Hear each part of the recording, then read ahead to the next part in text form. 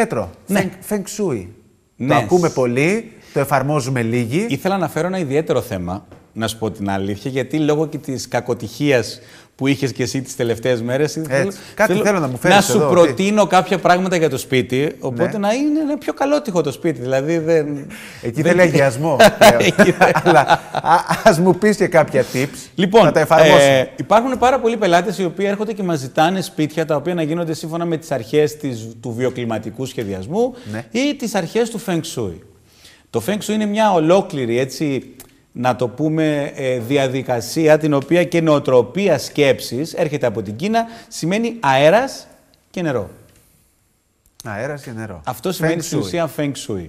Ε, έχουμε λοιπόν ψάξει και έχουμε βρει κάποια tips, 8 τα, μας, τα ομαδοποιήσαμε, να δούμε Ναι, ναι. 8 tips τα οποία θα μπορέσουμε να κάνουμε στο σπίτι μας, ούτως ώστε να λειτουργεί με τους κανόνες του Feng Shui, να Για έχει πάμε να τα δούμε, για πάμε όσο να το δούμε. δυνατόν πιο καλότυχα. Κρέμασε ένα πέταλο στην πόρτα σου. Μ, Κρέμασε ένα πέταλο. Ένα από τα δημοφιλέστερα πράγματα του Feng Shui είναι το πέταλο και μάλιστα με τον τρόπο που το δείχνουμε στην φωτογραφία ανάποδο πέταλο, δηλαδή να είναι το άνοιγμα προς τα πάνω.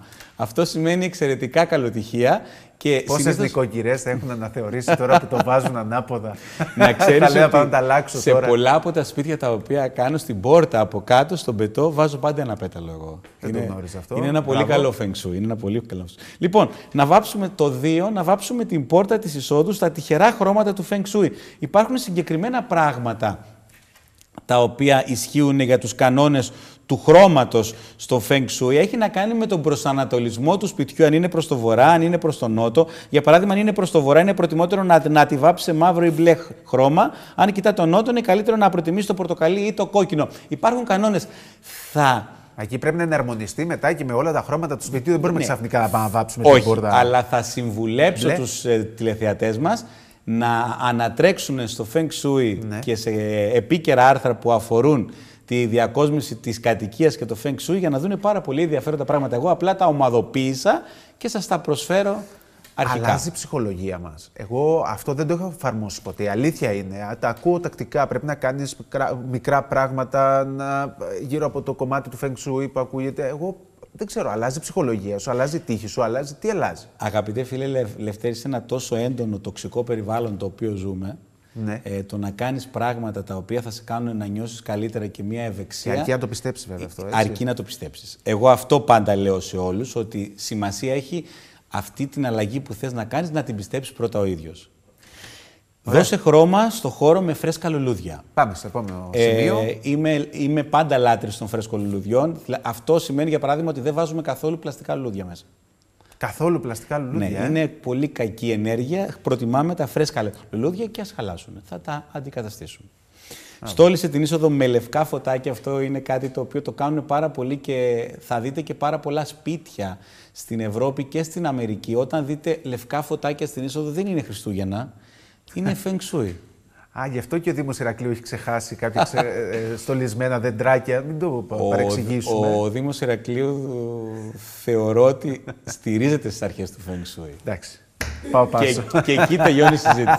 Εκεί τελειώνει η συζήτηση, καταλάβαμε. Λοιπόν, α, Στόλισε την κρεβατοκάμαρά σου με μία όνειρο-παγίδα. Ε, είναι λίγο γραφικό, είναι λίγο πασέ, αλλά αν ε, στηρίζεσαι στις αρχές του Feng Shui θα καταλάβεις ότι μία όνειρο-παγίδα θα σε βοηθήσει τουλάχιστον να πιστεύεις ότι τα κακά σου όνειρα θα πιαστούν εκεί και εσύ θα έχεις ένα ήρεμο και ευχάριστο ύπνο. αν τα εφαρμόσουμε όλα αυτά, σίγουρα θα υπάρξει αποτέλεσμα. Έτσι. Επένδυσε ένα σημείο με μπαμπού.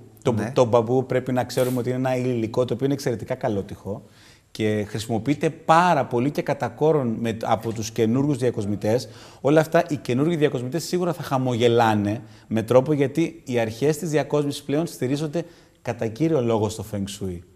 Μάλιστα. Οπότε λοιπόν ένας χώρος μέσα στο σπίτι μας που να έχει μπαμπού είναι κυρίαρχο. Βάλε τάξη στη διακόσμηση του σπιτιού, σου, αυτό το καταλαβαίνεις και εσύ ο ίδιος πόσο Ότι πιο πρέπει να άνετα γίνει. αισθάνεσαι όταν μπαίνεις μετά από τη δουλειά σε ένα χώρο ο οποίος είναι τακτοποιημένος ή σε ένα χώρο που είναι άτακτος. Και ειδικά αυτή η φωτογραφία συγκεκριμένη που βλέπω, δεν ξέρω, τα βρήκαν και από το τμήμα το γραφικό, είναι ιδανική. Δηλαδή να μπεις να δεις έτσι το σπίτι σου, κατευθείαν παίρνει ανάσα. Έτσι, έτσι. Ε. Είναι, ένας, είναι μια φασαρία για τη σύζυγός σου παραπάνω, γιατί θα πρέπει να το διατηρήσει σε μια τέτοια κατάσταση. Καλά. Αλλά θα το κάνουμε και εμείς, Λευτέρη. Τι να κάνουμε. Μπρος να έχουμε ευεξία και καλό. Αυτό. Ε. Και να βοηθούμε όπου μπορούμε. Χρησιμοποίησες στη διακόσμηση της κουζίνας ένα μπολ με φρούτα κυρίαρχο, σημαντικό αγαπημένο, ε, προσθέτει χρώμα, προσθέτει ευεξία. Το φρούτο γενικά είναι κάτι το οποίο έχει να κάνει με, με το πόσο φρέσκο και πόσο άρωμα βγάζει. Μας αρέσει πάρα πολύ να χρησιμοποιούμε οπόρες, δηλαδή να χρησιμοποιούμε πορτοκάλια, λεμόνια, μανταρίνια, εποχικά φρούτα τα μυρίζει οποία... ζωή. Μυρίζει ζωή. Έτσι ακριβώς.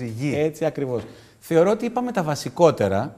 Ε, αυτό το οποίο θέλω να προκαλέσω και να προσκαλέσω τους τηλεθεατές μας είναι πλέον όταν ασχολούνται με την κατασκευή, με την ανακαίνιση και με τη διακόσμηση να την κάνουν με κανόνες και να την κάνουν με τους κανόνες τους οποίους αρέσουν προσωπικά σε αυτούς και αν δουν ότι ταιριάζει να τους ακολουθήσουν.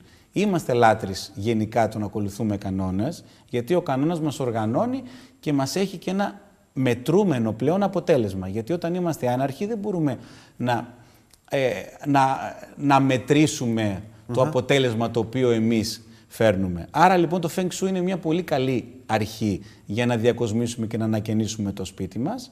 Πέραν από τα ξύλινα και τα σκληρά τα οποία λέμε στην αρχή περί πολιοδομικών νομοθεσιών και αυτά, μας μας αρέσει μια ενότητα να την κρατάμε έτσι λίγο πιο ανάλογα. Βέβαια, αυτά είναι σημαντικά, είναι χρηστικές πληροφορίες για τις νοικοκυρές που μας βλέπουν και για εμάς, για τους άντρες που είμαστε στο σπίτι. Για τώρα να πάω να πω εγώ στη σύζυγό μου, γύρνα ανάποδα το πέταλο θα δεις ότι θα γυρίσει τύχη. θα έρθουν αλλιώς τα πράγματα. Ναι, Όπως επίσης αυτό το οποίο δεν είπαμε και είναι πολύ κυρίαρχο και εμά, είναι να τρέχει ναι. νερό μέσα στο σπίτι. Έχετε δει πολλές φορές κάποια κινέζικα μήλους όχι από το ταβάνι, να υποθέσω. Όχι, όχι, αυτό θα είναι κακό νέο. ε, Κάποιους μήλους οι οποίοι κυλάνε κάτι νερό και κάνει το ήχο του νερού. Αυτός ο ήχος του νερού είναι το πιο καλό τείχο φεγγσούι το οποίο θα μπορέσει να σου τύχει στο σπίτι, αρκεί να μην είναι βράδυ και κοιμάσαι, γιατί θα σου δημιουργήσει την τουαλέτα μετά και θα έχουμε θεματάκια.